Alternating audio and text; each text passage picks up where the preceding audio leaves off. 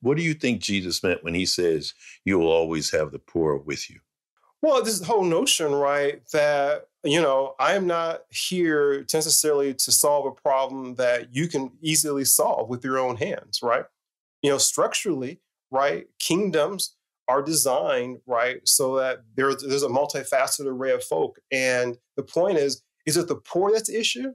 I would say no, poor is not the issue. The issue is that we have taken away their dignity structurally. The assumption is if you are poor, oh, you you clearly you you're, you're lacking something. So it's not necessarily that I think that the poor is a problem. It's the fact that we don't attend to the poor. Like we drive by them. We emulate people who have money and wealth at the expense of the poor. So the issue is, as a Christian, what's my duty? My duty is to actually tend to the least off. But that's not how we operate socially or culturally. We talk about the middle class.